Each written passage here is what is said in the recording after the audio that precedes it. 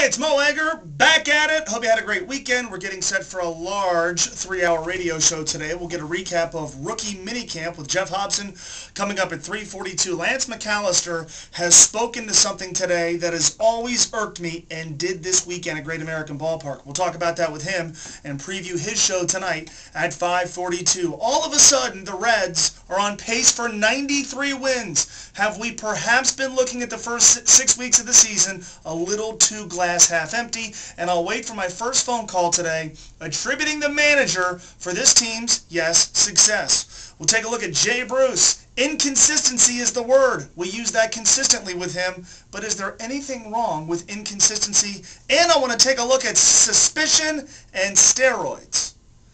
Also, we'll try to eke out some German in honor of Donald Lutz. Big show today. We start at 3.04. We hope you join us on ESPN 1530.